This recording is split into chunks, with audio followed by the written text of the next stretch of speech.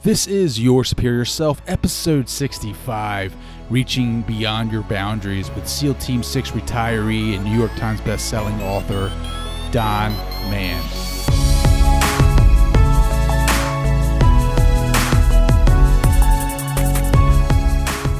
So I do a lot of visualization and, and also I'll push myself to the point of passing out. So now I'll look at a big challenge, a mountain or a big race or a long, long, you know, multi-week, multi-month trip, Everest or something, and I'll look at it and I'll look at the challenge head on without being cocky and I say, I welcome the pain. Bring it on. Anything worth doing is worth being hurt. And if it's too painful, I will simply pass out. And that's what happened with it when I did the two Ironmans in that one day, because um, you know it was a 4.8 mile swim, 224 mile bike ride, then a 52.4 mile run, two marathons. And when I got to done the first marathon, I was thinking, all I have left is a marathon. One marathon to go, and I'm done this thing.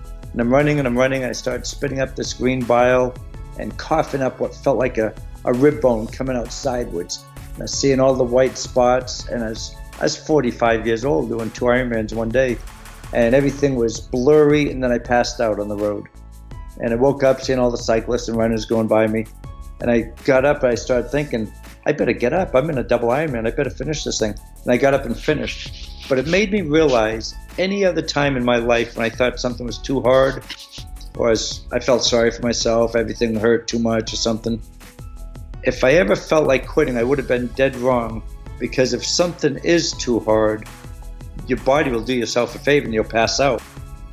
What is up, Superior Nation?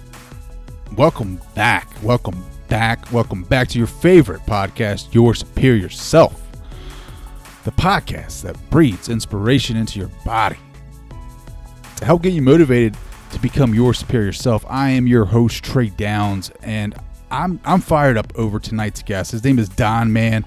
He is a New York Times bestselling author. He is a retired Navy SEAL Team 6 member. I have a crush on the Navy SEALs. I will admit it. I love everything about it. I wish I could be one of them, but I can't. I can't run that far. I could swim pretty good, but I can't run. I can ride a bike too. But I'm excited because Don, man, he is legit. He is a man's man. He is a true American hero. He he is a renowned world-class adventure competitor. If you look at his bio, it is like 10 pages long. He's done so many things. He's worked out every day for 22 years at one point in his life. He has done a, a ton of Ironmans. He's done back-to-back Ironmans, two in one day, which is crazy to me. Like it's hard for me to run a mile around the block, let alone run two Ironmans in one day. His book, he sent me his novel. It is called SEAL Team Six: Hunt the Jackal, and I, I read it today. A little bit of it. I started it, and I can't put it down. I'm just gonna read a little bit of it to you and just see if you can, uh, you know, get into it. When a senator's wife and teenage daughter are kidnapped, SEAL Team 6 leader Thomas Crocker and his men are sent to Mexico's lawless countryside where federal agents protect violent narcotics kingpins instead of hunting them down. The two women have been taken by the jackal. Oh my god. Like that is insane. Like right there. You got me hooked there, Don. Um, it's it's a, it's incredible an incredible interview. It is a very raw interview. I have nothing but respect for the servicewomen and men of this country. Thank you, Don, and for all the veterans and the active duty participants in the U.S. military. Thank you for your service. I have nothing but respect for you guys. That you guys, you guys protect us every every night. You protect you you protect us. You you keep us safe. Before we dive into the interview, I just wanted to mention to you guys that this is actually the interview that gets me motivated to run. I have a buddy of mine at work. His name is Mike. Mike, shout out to you. You know who you are.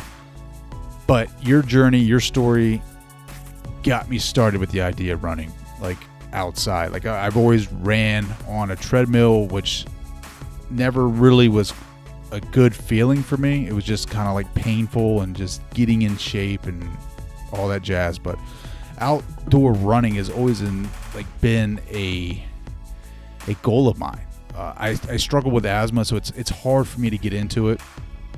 But after talking to Don Mann and really talking to my buddy Mike about his journey with running, it's kind of inspired that bug inside of me to get back into it. And Don's like explanation of his his mental strength is really it really inspired me to get out there and try again with the running outside. Now, it's it's tough, trust me. It is super tough for me. But I want to challenge you now to start a streak of your own, no matter what it is, and I want to know about it. So, I'm doing this streak of running every day outside. I'm on day 7. I challenge you to do 30 days of something uh, something that you may have wanted to do for a while, maybe haven't been that comfortable or confident about it. And now I'm challenging you to pull that out of you, whatever that may be, whatever goal that you may want to ob- obtain. Maybe it's running, maybe it's health, maybe it's diet, maybe it's uh, starting something new. Who knows? Uh, but I, I, challenge you to for the next 30 days to be consistent with whatever that challenge may be for you. And I want to know about it. I want to know if you know what it is. One and, and two, if you're going to be serious about the challenge, let me know. Like email me every day. Let me know if you do it or not. I'll hold you accountable. Um, yeah. So this episode really inspired. Uh, me to start a streak, and I'm pretty excited about it. I'm seven days strong. I know that's early. I shouldn't be uh, celebrating too much, I guess, right? It's seven days, but I'm pretty excited about it. That's a long time for me. So hopefully you guys will accept the challenge. 30 days, let's do it. Let me know. Email me every day, message me every day. Let me know. You guys can message me on the website at yoursuperiorself.com or you can check me out on Instagram at tdowns80. Send me a DM over there. I'm on Twitter at DownStray and on Facebook at Trey Downes D O W N E S. You guys hit me up. Uh, I will get you motivated. I'll keep you in. Try to make sure that we all hit our. A little bit more about today's episode. I sit down with Don Mann. He's a retired Navy SEAL Team 6 member. He's a renowned world class adventure competitor and New York Times best-selling author he goes around and he gives these chats, these these motivational speeches, and he presents a compelling and extremely motivating presentation that has inspired business leaders and professionals from all walks of life. He actually did a uh, keynote recently at the Naval Academy, and he talks about that. Don Mann knows what it takes to be a brother of these ultra sensitive fraternities. And as a member of the SEAL Team 6, he's worked with countless covert operations operating from land, sea, and air, and facing shootings, decapitations, stabbings. He's captured. He was captured by the enemy, and he lived to talk about it. And he participated in highly classified missions all over the globe, including Somalia, Panama, El Salvador, Colombia, Afghanistan, and Iraq. As training coordinator for the SEAL has had to overcome his own troubled childhood and push his body to a breaking point and beyond.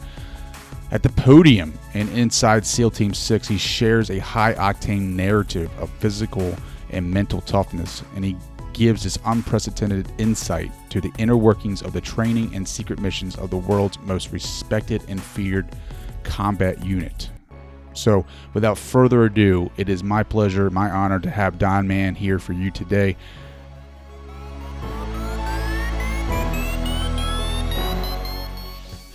Hey, what's going on, guys? I'm excited tonight because I don't know if I've ever said this on the show, but I am a huge fan of the SEAL teams.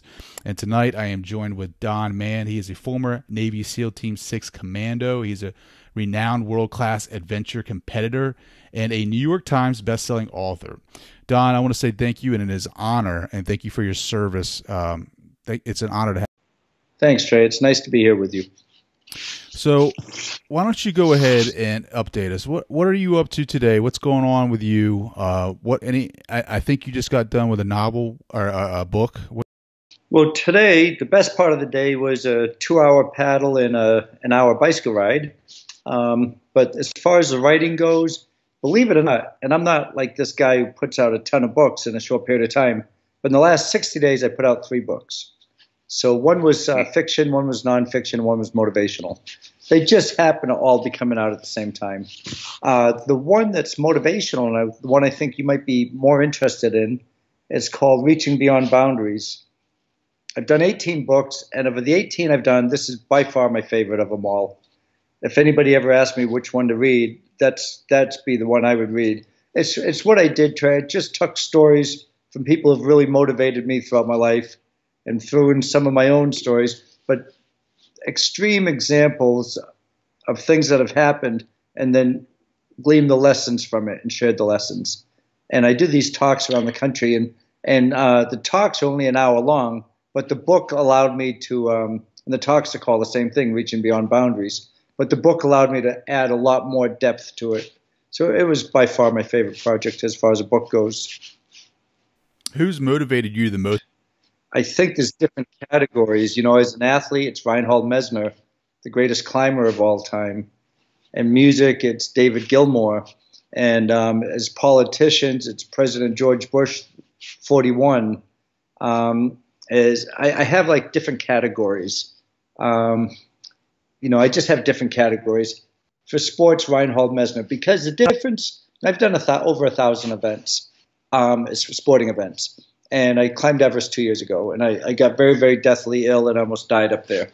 But, anyways, Reinhold Messner, he was the first to summit Everest without oxygen, first to summit it all alone.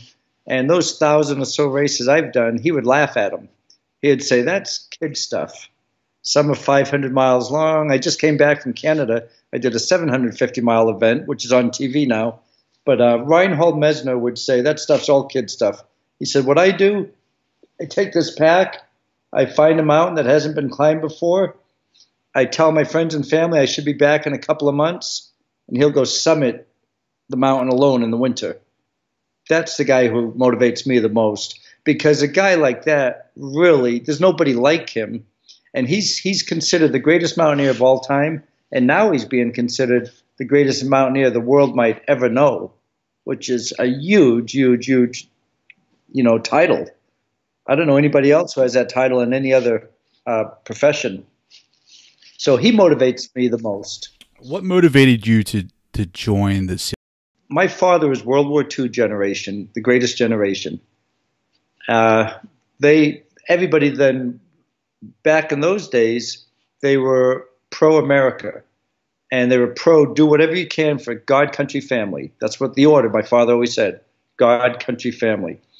Uh, when World War II came about, you know, he had two brothers and a sister. All four, he quit school. They all quit, and they all went off. Uh, they all came back. One was captured in prisoner of war for two years, but uh, they all made it back safely. And um, anytime we'd be sitting around as little boys and girls, little kids sitting around the table, and there's a veteran who was killed, my father would tear up. And uh, anytime any any um, anti-U.S. sentiment would take place, he would get upset. He joined the VFW, lifelong member, and ran the post, ran uh, disabled veterans post, ran the whole post for the whole state, and he gave his life pretty much to to veterans. And he always instilled in us at a young age that you have to serve your country. So I always knew, even before I knew I knew, that I was going to serve my country. And I went into the Marine Corps. I didn't know anything about SEAL teams initially. And I went into the Marine Corps recruiter, and I probably found the only recruiter in the Marines who wasn't squared away. This guy just wasn't impressive.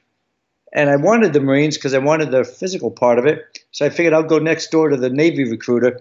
And that guy was good. Diamond Jim Brady was his name and he showed me a video about the seals. In that moment, I thought, that's it. I, I mean, you do pull ups, push ups, sit ups, running on the beach, swimming, diving, jumping, going all over the world with the toughest guys in the world. There was nothing else I wanted in this life but that at that point. And I, my mind's never changed, and that was over 40 years ago. Well, what's the so you go? How do you get into the SEAL teams? Like uh, just for the, the, the people that are are unfamiliar with the um, the protocol and the, and the, the how you get into the, you know. In- so, what if anybody's motivated enough to make it through the teams? They will find a way to get there. But it's so easy nowadays. Really, you go to a recruiter, you go to your college recruiter if you're going to become an officer, if you graduate college or you go to a high school recruiter, um, and you say, where, "Where's where can I talk to military people?" They'll send you off to the nearest recruiter. The military recruiters will lay it out for you. This is a plan to get to BUD/S. It wasn't that easy when I was going through. It took me four years to get there. Now you can sign a contract. If I pass the physical test, if I pass the screening test, which isn't that hard, if you're going to be a SEAL, it's not hard at all. If you pass that screening test, they'll send you off to BUD/S. If there's a, a billet open, if there's not a billet open, they'll wait until there is a billet open. So nowadays, and they they need more SEALs than there are people applying. And there's been times throughout the ages where SEAL teams were really hurting on people, and the big Navy would try to lower the standards. They'd say, hey, instead of having to do this many push ups or this many pull ups or the run or the swim in these times, let's make it a little easier. The SEALs hated it. We hated that. We lowered the standards a little bit, and we got less than SEAL material coming through the door. So we really still don't get all the SEALs we need. There's all these college programs and high school programs, and top athletes from around the country are trying to get in. But the thing is, you get a class of 150, 175, you still graduate about 20 or so people, which is with the people retiring, getting out, getting killed, and getting wounded so they can't be on active duty anymore. Um, there's, there's, we need more good, good quality people coming through the door to be SEALs still. So there there are six teams, right? And they're spread out. Um, I think it's on the west and east coast. Um, I think it's one, three, and is it, how does it go? Is it even number on, on the east coast or is it odd number on the west? On, uh, how does that work?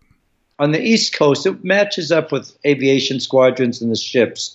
They're even numbers, so two, four, eight, and ten And SDV team, swimmer delivery vehicle team, is all East Coast. SEAL Team 6, separate from all those, and it's at a different location, but it's also on the East Coast. On the West Coast, out in Coronado, it's 1, 3, 5, 7, and 9, of course, uh, is coming too. So the reason there used to only be two SEAL teams. When I came in, there were only two SEAL teams, SEAL Team 1 and 2. I wanted to be at both. I actually I wanted to be at all teams, 1, 2, and 6. And that's where I went one, two, and six. One and two were established for Vietnam. Uh, those were the only teams. Also, there were underwater demolition teams. And there were two underwater demolition teams on the East Coast and two on the West Coast. It was the same exact training. You go through this rigorous BUD/S training, and you either go to a SEAL team or underwater demolition team. The training was just the same. Underwater demolition team did more in the water, uh, demolitions and things like that, and SEALs did more on land. Everybody wanted to be a SEAL, and we had a joke, just UDT, or you're a SEAL at just UDT, but still the same exact quality of people. So there were one SEAL team on the West Coast, one on the East Coast. Then in uh, 83, all the UDT teams became SEAL teams. So then you had one, three, and five on the West Coast, two, four, and eight on the East Coast. What Richard Marcinko did in 1980 when there's only two teams, one and two, he wanted to confuse the Russians. He wanted an undercover, long haired, counter terrorist maritime team to match Delta Force, but it's undercover, covert, and we call it SEAL Team 6. So the Russians would think we had six teams. So SEAL Team Six, like you, you, talked about the difference right there, but everybody knows it. Like it's famous now, right? Because of Osama bin Laden. Uh, talk about that. Like, what makes SEAL Team Six so? Every SEAL who's in is really good. Okay, um, you go through BUD/S for six months. You go through all this other training, and if you're a SEAL and you get a trident on your chest, you're proven. Now, you go to one of the other teams, not six. You go to any other team once you come out of BUD/S. If you prove yourself, you get marks higher than your peers you do a certain amount of deployments, you're excelling as a SEAL. After a certain amount of years, you have to be very experienced. You can request to get interviewed for SEAL Team 6. They'll look at your package. If they have any interest in you at all, they'll fly to wherever you are and they'll come interview you. And if they like you, they pluck you right from the team, which is kind of exciting. I love Team One. I love being part of SEAL Team One And when I was interviewed, I thought the interview went pretty well. And uh, the captain of SEAL Team Six went up to my captain. He said, "We're taking him."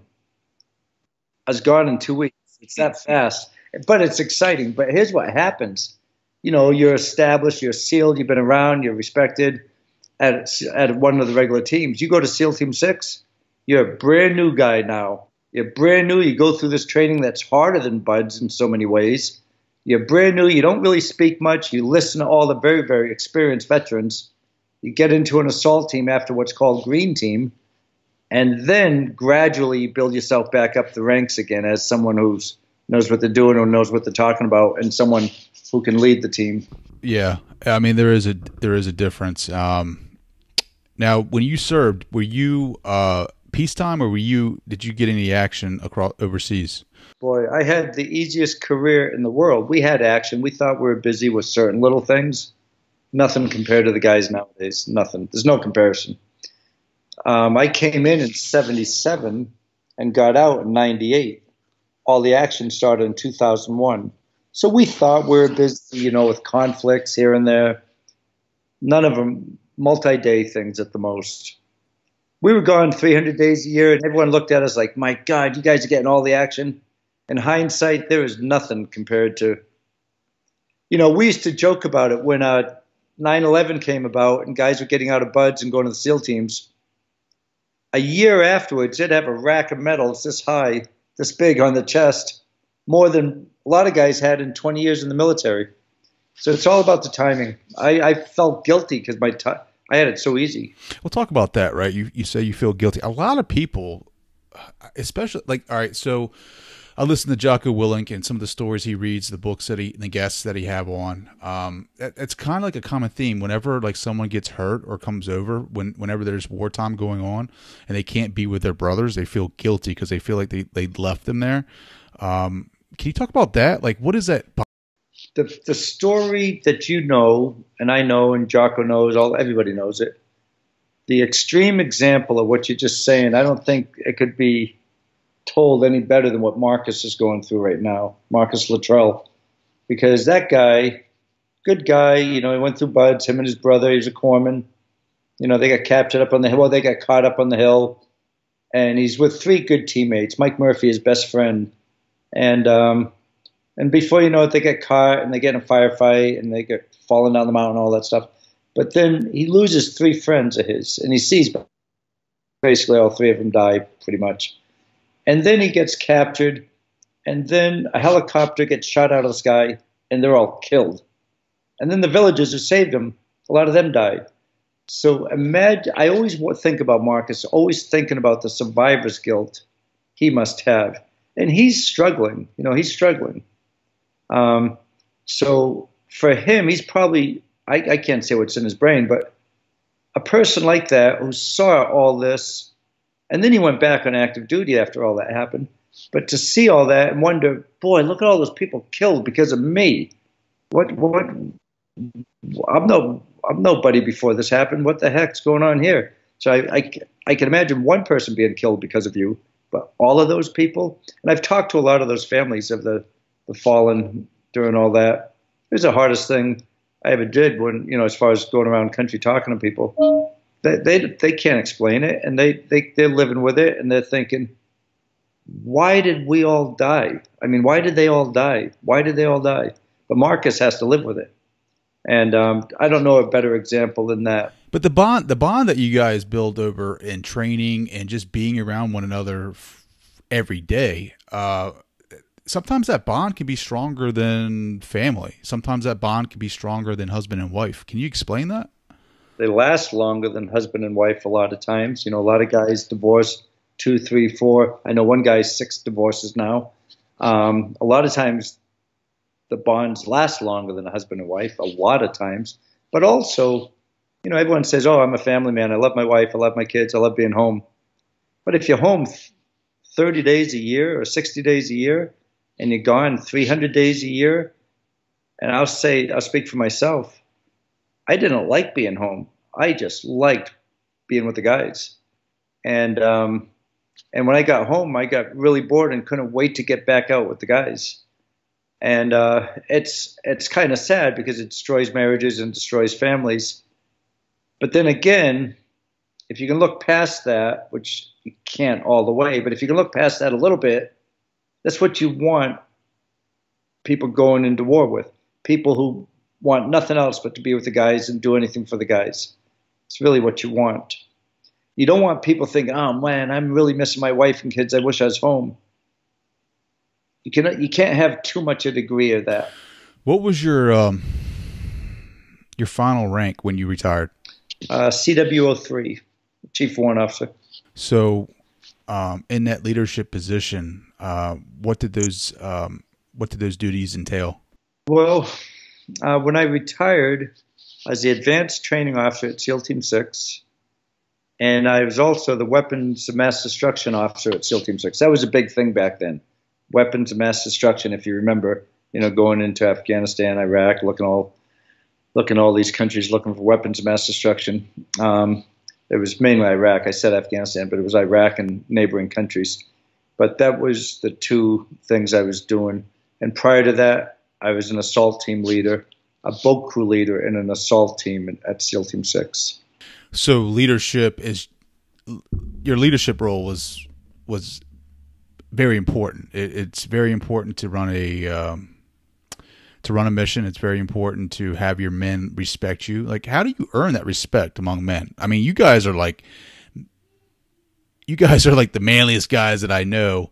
Uh, how do you earn that respect from these rugged ass dudes, these guys that are just warriors? Like, how do you earn that respect? Well, you don't get it with rank at all. It doesn't. Nobody cares what rank you are. You get it by living and working, and and the commitment and the sacrifice you're willing to put out. How hard you put out. How how you are for the mission and for the team and for your teammates, not for your own rank and your own personal motivation, whatever that happens to be. It comes clear on who is around you and why they're there and how much they're willing to commit. Everybody's willing to commit to go to war and all that. There are some who can't wait to go, and others might say, ah, let's hold off on this. There are different levels. Everybody wants to go, but those who will give anything for their team and their teammates, that that attitude and those behaviors um, they're recognizable, easily recognizable, because you're with the guys all the time. You're with the guys all the time, so you you you can't fake that. People will see it or they won't see it, and if they see it, that's the type of guy they want to be led by, or that's the type of guy they'll follow. Who's who's your favorite leader in the military? Like who is the the the past? Let's think about World War II. Like who's your favorite general? I love Patton. MacArthur. What uh, what made Patton such a great leader? Let me see. Patton had he he wasn't um, he didn't do anything to impress his superiors. He didn't do anything to be I hate to use this term politically correct. He did everything. He was brilliant for one, a brilliant mind, and he he just did things mission first, focus on the mission, take care of the men. Period. There was nothing else about him other than you want to go to war. This is the guy we want to lead us. Patton MacArthur. I mean, um, you know, go back to Civil War. Uh, that's the attitude. I just spoke at the Naval Academy last week, and I told these guys, I said, uh, you know, I've worked with some great leaders in the past, and a lot of them have come out of this place, Naval, U.S. Naval Academy, uh, Marines, you know, colonels, generals, Navy captains and admirals. And the difference is a lot of them are fantastic. And those guys, you knew their heart was all about mission focused, focusing on the mission, the objective, the men. I've also worked with some really terrible officers that came out of the Naval Academy some Marines, some Navy guys, commanders. And the reason they were terrible is because their motivation was I better be good to this guy. I better be around the flagpole. How can I impress the boss? I've got two stripes. I want three stripes. Where am I going to go for my next promotion? It was all about them. And that's very apparent. And it's so easy to see. When we got an officer like that, if we got one like that, and we had a few that were bordering that, we did things and got rid of them, and and things I wouldn't want to say on the camera. Well, give like, can you give one mild example? I'd rather not. Maybe someday we'll have somewhere together. I mean, they were they were bad. They were bad. If we if we saw an officer that okay, I'll I'll give you an example that wasn't terrible. Okay, we had an officer we didn't care for the guy at all, and we thought he was going to get us killed, and um, so uh, we we brought him out to a bar, and um, we brought him to this bar, and I I was the one who told the uh, the waitress, I said, we're all going to order drinks. And when we do, we want water. But give that guy over there double shot of tequila or vodka or something. Every time anybody orders a drink, give all of us water. So, anyways, before you know it, this guy's plastered. He was our leader. We walked outside. He fell down and he broke his arm. Oh, wow. Um, we had him at that point that's the mild story. The others make that just seem like nothing. But we would we would find ways to get rid of the officers that we didn't feel we wanted around us. I, I would be wrong by saying anything more than that. well, uh, I'm looking at your bio here, and one of the bullet point says that you have worked out every day for 22 years. Do you still work out every day? No. Um, I try to work out 10 hours a week outdoors. I probably could answer that by saying yes, but if something happens and I'm traveling something, I don't work out, I'm okay with that. So I don't have a streak anymore. I broke that streak, but it went over 21 years without a day off. And, um, and that's seven days. Oh yeah, seven days a week. And, and I was beyond obsessed. Uh, Friday, I would start the workout right after work and I'd be dropped off in the woods. It might be a 50 mile hike to my bicycle, a 100 mile mountain bike ride to the cliffs, Jumar climb up the cliffs, and then uh, maybe a 40 mile whitewater paddle. I'd be finished the workout Monday morning, then go to work. That's what I did on weekends. Holy crap! Yeah, and I did, you know, I did two Ironmans in one day. My my my the thing I liked the most were the 500 and 600 mile nonstop adventure races in places like the Himalayas, Nepal, Tibet, Ecuador, South Africa, Lesotho, Africa, Alaska, the extreme places, and climbing mountains at 20,000 footers. I like, you know, I like pushing myself hard, and um, you know, I've hurt myself a few times. Right now, I'm on a that brigade. It's on TV now. It's on every Monday night, and that was a 750 mile paddle I did with nine other people. We got chosen for this reality TV show I think I was older than all their parents were. And uh, they said, and they asked me if I wanted to be on the show. I said, Do you know I'm 60 years old? But when I said that, I knew for sure I could do a 750 mile paddle. This was in August. So my mind is strong. It's very, very strong. It's way stronger than my body is. My body, I've, I've got all these, you know, things that are broken down in my body. But, you know, I'm a multi sport athlete. So if I can't climb, I'll run. If I can't run, I'll bike. If I can't bike, I'll paddle.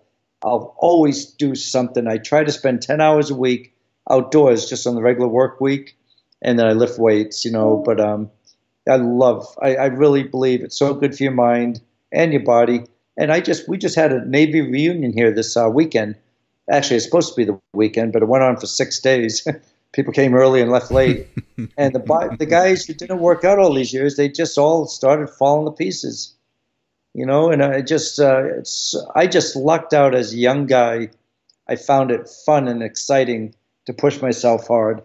I didn't really realize the long-term effects would be so helpful. You know, I've got physical injuries, but as far as having the mindset, like if somebody said, "Let's go do a hundred-mile jog right now," I'd feel confident I could do it, or a hundred-mile paddle, or whatever it is.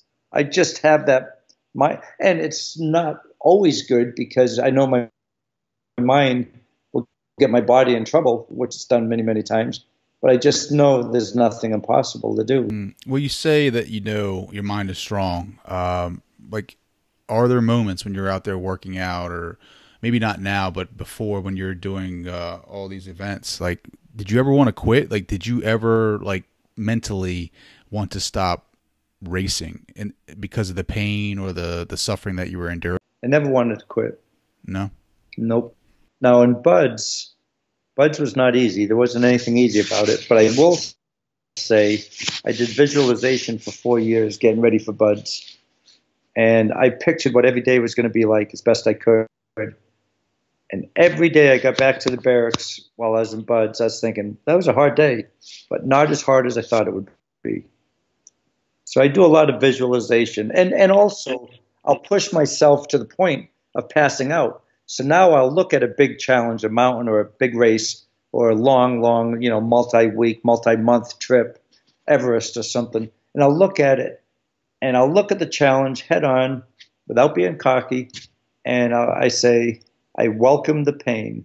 Bring it on. Anything worth doing is worth being hurt. And if it's too painful, I will simply pass out. And that's what happened with the when I did the two Ironmans in that one day, because um, you know it was a 4.8 mile swim, 224 mile bike ride, then a 52.4 mile run, two marathons. And when I got to done the first marathon, I was thinking, all I have left is a marathon. One marathon to go, and I'm done this thing. And I'm running and I'm running. And I started spitting up this green bile and coughing up what felt like a, a rib bone coming out sideways. And I was seeing all the white spots. And I was, I was 45 years old doing two Ironmans one day. And everything was blurry. And then I passed out on the road. And I woke up seeing all the cyclists and runners going by me. And I got up and I started thinking, I better get up. I'm in a double Ironman. I better finish this thing. And I got up and finished. But it made me realize any other time in my life when I thought something was too hard or as I felt sorry for myself, everything hurt too much or something. If I ever felt like quitting, I would have been dead wrong because if something is too hard, your body will do yourself a favor and you'll pass out. And you get the break you need, then you get up and finish. And if you quit before that, you quit and you still had something left inside. So that when I go around doing talks, that's what I talk about. And you could be a banker, you could be a piano player, you can be a janitor. It doesn't matter what you are. You could pick a goal, pick a high, far-reaching goal, what I call a macro goal, and find a lot of micro goals. Meet those little micro goals. Before you know it, you're going to achieve that macro goal. Then bring the macro goal down a level. Use it as a micro goal so the next macro goal can be bigger. And that's what I did using the triathlons as an example. At one point, my macro goal, I just wanted to do a marathon. Once I did that, I brought it down. Next macro goal, I just want to do two marathons in one day. I did that, brought it down. I want to do an Ironman. Did that, brought it down. I want to do a double Ironman, two Ironmans. And it just, and then those macro goals now become micro goals, and you have to do that to get to the next macro goal. And then that list of accomplishments, your life accomplishments, gets long. It gets long and longer and longer. Do you ever watch um, uh, David Goggins at all? No, I know who he is. Yeah, we have similar backgrounds. No, I I, I hear about him all the time. Um, we have similar backgrounds. I don't know him. I've never met him. Do you know Jocko at all? Jocko Willink? Nope, never met him either. No. Well, David Goggins, like you're explaining these things, and he, of course he's on Instagram and he does all these uh, marathons like you're you're discussing. Like, all right, so I'm not saying that a normal guy can't do it, but it seems like I mean, me, like I've always struggled with asthma uh, or whatever. Uh, that's one of the reasons why I didn't go into the services. But um, when I hear of these marathons that you've completed and and I mean, back to back. Like that's crazy to me. Like I think like the average Joe, the average Trey, like when we when we get into high pressure situations, when we get into these tough, difficult life situations, it's probably easier for us to kind of like think about giving up. But a man like you, a warrior like you, who has been through the hardest, hardest of the hard training, like it's it's it's harder for you. I mean, you're re- you're willing to pass out, right? You're willing to go run two marathons in one day, where the average guy is like, you know, I'm lucky if I can run two miles, right? But that mental toughness that you talk about is that something that you can teach? Yep, I, have Trey. If you don't mind, I have to disagree with a couple things you said too. Sure, sure. Um, I, I would say, and no disrespect or anything, I am positive if you wanted to do two marathons today, you could. It would just be painful and it would hurt and you'd have to take your medicine and things like that. It, you could do it. Like, what would stop you from putting one foot in front of the other? As long as your mind said, I can do it. If it gets too much, you pass out, you get up and keep going. Go slow. But you could do it if you wanted to. Okay, so, you know, I talk about doing those two Ironmans. Really, that's a small feat in some people's minds because a lot of people have done three, some have done five, a handful have done 10, and just a couple years ago in Italy, they had 30 back to back Ironmans. Wow, 30 and 30, one, one a day, one a day for 30 days. Yeah. But it used to be the biggest thing in the world. Like, oh my God, I'm going to do one of these this year. And then you're like, oh wow, that year, I'm so glad I'm done with that. Now they're doing one a day. So people like you and people like me and people like people we know, really, if they put their mind to anything, they could. Now you have the asthma, you said, but that's that won't stop you. It could hinder you a little bit. But um, and I know you work out. I can tell you work out, so you definitely stay in shape. But you know, I did 30 in 36 months, 30 marathons. I got bored of them. Really, after a point, 26 mile running on the pavement, it's only so much fun. And then I started doing the 50 milers and the longer ones and the adventure races. But um, they're nice stepping stones. You know, do a 5K to get to the 10K, do the 10K to get the marathon, get the marathon to do the double marathon, do the double marathon to get to the Ironman. And I just like use them as stepping stones. Because at one point in my life, a marathon was, oh my God, I can't believe I'm going to run 26.2 miles. But once you do it, just bring it back down and go for something bigger. And it doesn't have to be in sports. It could be in broadcast. It could be in radio. It could be blog sites. It could be in writing.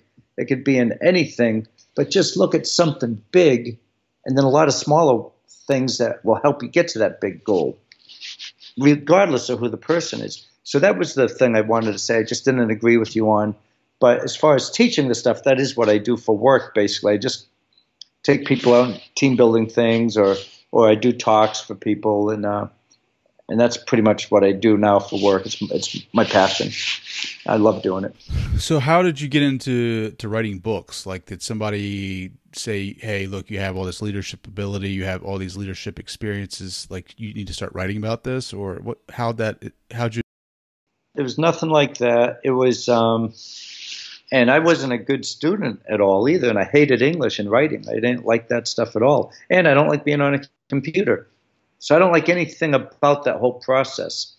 But um, when I was doing the adventure races, I was up at the high level competing, and I was producing them at a high level, and I had an adventure racing academy, the first in North America, and I had a politician come up to me one day and he said, Don, you're the only one we know that teaches it, produces them, and competes. Why don't you write a book on adventure racing? I said, I don't want to write a book. He said, Why not? I said, Because I don't want to be sitting behind a computer writing a book. He said, I'll write it. You just put it on tape. So I just talked on a tape. I had my notes. I knew what I was talking about. I sent it to him. So that was my first book. And then I was working for the U.S. government, teaching weapons and tactics and um, and I had a lot of material, you know, being a SEAL instructor and being a government instructor, and um, and then my boss said to me, he says, Don, you got to write a book. You got a lot of shooting material. I said, Jimmy, I don't want to write a book. He goes, Go ahead, write a book. You got all the material right in front of you. So I put it into chapters and um, shotgun, long gun, and handgun, and then um, the the publisher said, Yeah, we like this stuff, but it's way too much. We have way too much here can you give us about a third of that? So I got rid of the long gun and shotgun stuff, and then I wrote a shooting book. And then I started thinking about the movie Forrest Gump, and my mother had passed away, and I was thinking that my mother and I both liked that movie so much. And then um, I was thinking, really, that was just a fictional character, and he brought us through real life history with Vietnam and Watergate and Nixon and Johnson and Kennedy and ping pong. But he gave us a history lesson with a fictional character. I started thinking, boy, that'd be a nice way to give a history lesson to today's people using a SEAL with Iraq, Afghanistan, Syria, Colombia. And so I talked to a co writer. He loved the idea, and we did eight of those books. So it's been going. And then a publisher called me. They said the Air Force has a survival manual, the Army has one, the Marines have one. Why don't you write one? I said I don't want to write another book. They said, come on, we'll pay you up front. We'll give you a year to do it. So I did that one. So it's just, uh, it's been like that for 18 books now. And um, it's been fun, I have to admit. But the last one I did, the Reaching Beyond Boundaries, that was my favorite. That's the thing I do the talks on because that was like we started doing this conversation you and I are having. Um, I got to interview and talk to some big, big people in my mind uh, who really impressed me my whole life, and they they contributed quite a bit to it. And I just put their stories in there a lot. And it's a talk I do, but the talk's only an hour long. This allowed me to go much further than just that talk. The the cool thing that you do is that you can you can take the physical aspects of life and you can kind of convert that into teaching moments for everything else in life too, right? So all the physical um, hardships that you had to endure with the races and Marines and the training and that transfers over to to everything else in life, right? I mean that I think so. I think it does. The mental preparedness, the the ability to push through uh, that runner's wall, the uh, the pushing yourself, picking yourself up when you pass out, uh, just the this ability not to to quit. It's such a great life. Yeah, Trey um, I'm glad I didn't only get the fun out of it or the misery, whatever it is. I am fortunate that I was able to take lessons from a lot of it. And then that's what I do now with books and speaking is share those lessons. How can people connect with you?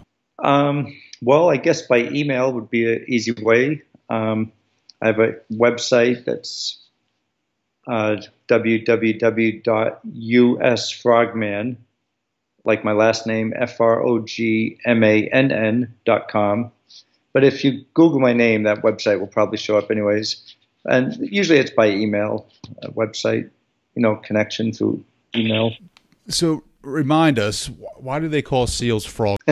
well, frogs live in the water and they can go up on land and they can do whatever they do on land and jump out in the water and swim for long periods of time. And the fins, you know, the feet look like fins and yeah, so that's that's the early day frogmen or seals. You don't hear it so much anymore. Sometimes Navy divers are called frogmen, but it's seals are called frogmen. And and in the teams, you call each other frogs. Even they a bunch of frogs that coming down to the bar. Yeah, that's awesome. Well, Don, I want to say I want to respect your time. Um, I, I want to say thank you for coming on, and I want to ask you one last question or and get your advice on something. So a lot, a lot of the people that I interview and people that I talk to throughout uh, my day, we, we talk often about the meaning of life. Um, and I changed my, my mental, uh, attitude towards that. And I'm trying to, um, look at it more. So what my meaning to life is, right? Instead of saying, what is the meaning of life? I want to say what or ask what is my meaning to life? What am I going to bring to to life? What value am I going to bring? And so I ask you that question. At the end of the day, what value and how do you look at the the, the meaning that you're bringing to life? I would say early on in life, I brought zero value, probably just trouble and misery to people, and then um, started growing out of that a little bit, and then started neutralizing. So I wasn't causing problems but not adding any real value to anybody's life. And then through a little bit more maturity and life lessons and all, um, realize, realizing what's right and wrong and how to treat people and how to how to um, maybe learn from mistakes and share those mistakes in a way that um, other people will get it. Um, why have other people make the same mistakes you've made if you can say something in some way to prevent someone else from doing it. And on the same hand, not only mistakes, but on the same hand, advice. If something that worked for me at one point in my life and worked more than once and maybe a couple times, and to share that lesson with people, saying, you know, this really worked for me. I'm not saying to do this, but boy, I tell you what, this is what worked for me. And the older I get, the more I like doing that. And, um, you know, I, I don't want to say sound sadistic or anything, but if it all ended for me tomorrow, I'd be fine with that. But in the meantime, I just want to, um, you know, try not to do anything wrong and try to only bring value and, and happiness and good to people around me. That's awesome, man. Well, I want to say thank you for joining the show. It has been an honor. And again, thank you for your service. I want to say thank you to Don Mann for hanging out and taking the time to come on the show and talk to us today. I want to thank you, the listener, for downloading and hanging out. And I really enjoy interacting with you guys. So hit me up on Instagram at tdowns80, on Twitter at downstrey, Facebook at Trey Downes, D O W N E S. Send me some messages. Let me know the feedback that you want to provide about the show and get after it. Keep crushing your goals. Go after your goals. Create a goal. Again, 30 day challenge. I challenge you to do something consistent for 30 days, no matter what. I want to know about it. I want to help you succeed. So send me your goals. Let me know how you guys are doing, and I'll talk to you guys later.